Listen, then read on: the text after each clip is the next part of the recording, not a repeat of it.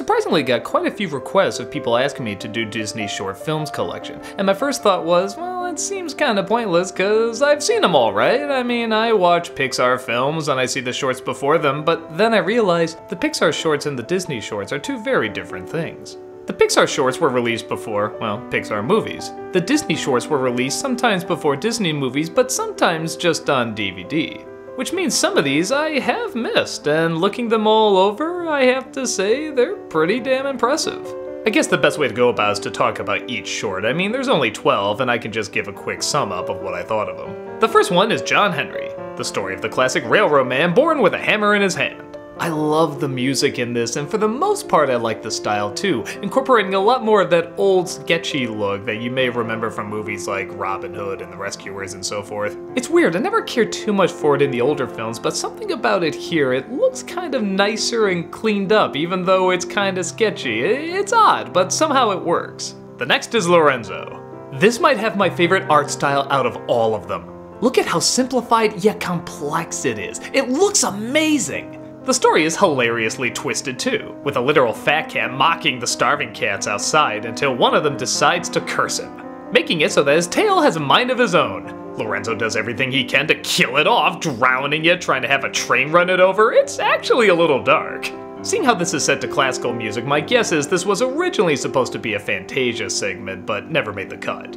But what we got is pretty damn awesome even though I feel like the curtain call at the end was kind of an attempt to give a happier ending to what should have been a more twisted ending. Next is The Little Match Girl. I've already talked about this one before, but watching it again, yeah, it's still sad as hell. It's animated beautifully, the music is fantastic, and again, I won't give away the ending, but it's a perfect kind of tearjerker that can really hit adults and some kids, though others may look at it and not quite catch on, which I kind of respect. I feel like the ending might change the older you get, and that's not a bad thing. I still love it just as much now as when I first saw it.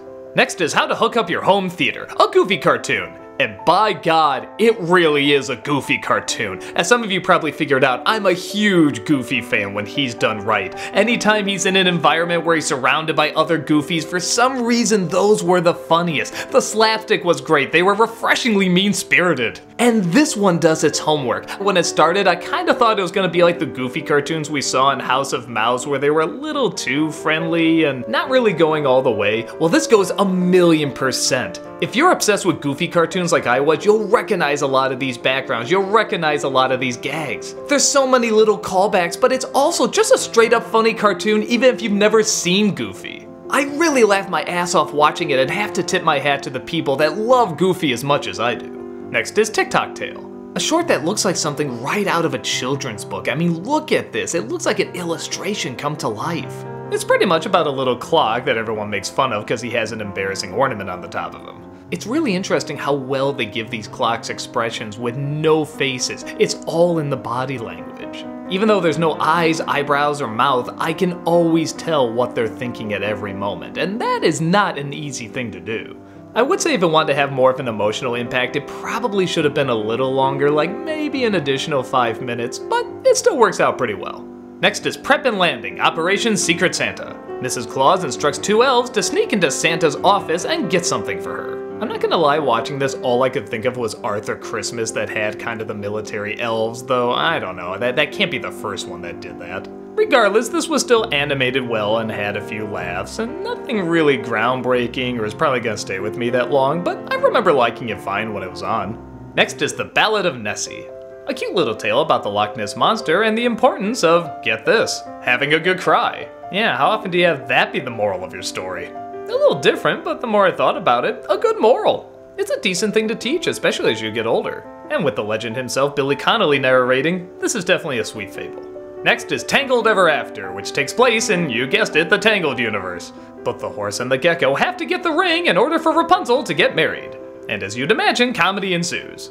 It is exactly what it is, a funny little romp that takes place in the Tangled universe, so it's the same characters, the same backgrounds, which all look nice. I just always remember finding the horse funnier when he was chasing after someone, like when he was like Javert from Les Mis or something. But it's fine, I laughed enough through it. Next is Paperman. At the time, a lot of animation buffs were saying this is the future of hand drawn animation, and I didn't know how to take that. When I first saw it, I could definitely tell it was CG with lines put over it, and it felt a little off to me. I don't know, maybe it's a part of me still wanting to hold on to traditional hand drawn animation, but looking back at it years later, it is a very nicely worked out piece of art.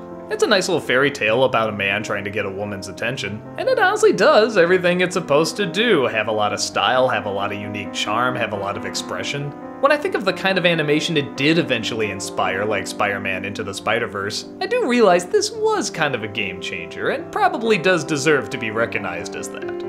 Next is Get a Horse, a Mickey Mouse cartoon. An unbelievably smart idea that's projecting an old school Mickey Mouse cartoon on a screen, but then they jump out of the screen and they constantly keep fighting in between 3D and 2D. That's funny enough, but it all takes place in one shot. You're just watching it laughing and having such a good time seeing them constantly fighting back and forth and going in between styles. It's very clever. Next is Feast. Kind of like Marley and Me, it shows the relationship between a dog and his owner, and then a dog and his owner, and the woman he's interested in, and the stuff that they go through. The fun part of it though is that it's done entirely through how a dog would probably notice. When he's alone, he's fed nothing but junk food, but then she enters the picture and suddenly it's healthier food, and he doesn't focus as much on him. As it goes on, you probably put together that everybody realizes what's most important and where everything should go, and yeah, it's done very well. And finally we have Frozen Fever, which is, again, exactly what you would think it is, especially by this point. You know, with a lot of these lovable Frozen shorts that everybody loves. It's pretty straightforward. Elsa wants to throw Anna this big party, and she has all sorts of gifts lined out throughout the kingdom, and of course she sings about it and puts on all sorts of new dresses that you can now buy on new dolls, and eh, yeah, it's pretty obvious why this exists. For what it is, it's fine. The song they have is very well put together and catchy, the animation is beautiful, and unlike Olaf's Frozen Adventure, they know to keep it relatively short. It's decent if you know what you're going in for. So yeah, that's 12 animated shorts that are all good, some even great. There's different styles, different techniques, different tones, and honestly I never would have seen probably half of them unless I checked this Blu-ray out. So yeah, if you're an animation buff or a Disney buff, I really recommend this. It's great seeing so many wonderful animators take a break from these super long stories and tell something that's a lot shorter, a lot simpler, and sometimes even a lot deeper. Pop it in and give it a quick watch.